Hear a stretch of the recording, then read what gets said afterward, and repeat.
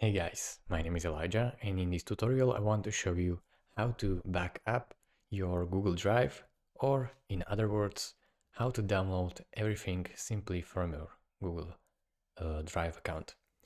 So first method, you can always just go to my drive, select everything, press right click and download, but there is a better way.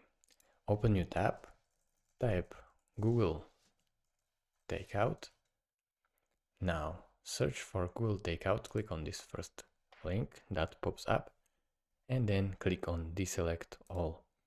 Now go down until you find drive, so right here, then click this box and as you can see when this box is checked, scroll all the way down until you find this button next step.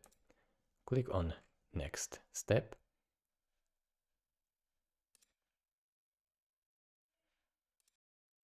And now, as you can see, your account, your data. So the second step, send download link via email. So you can choose anything you want. If you want to add it to Drive, to Dropbox, to OneDrive, I will recommend to send it to email.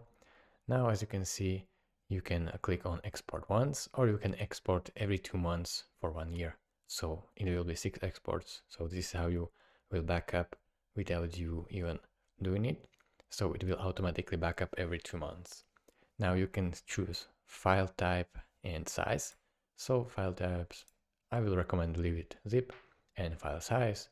So if they'll be, will be larger than 2 gigabytes, it will be split into multiple files. So you can always choose a bigger file sizes. Then go over here and click on create export. Now as you can see export will be in progress and it will uh, inform you on your email that it is done and where you can download it. So that's about it.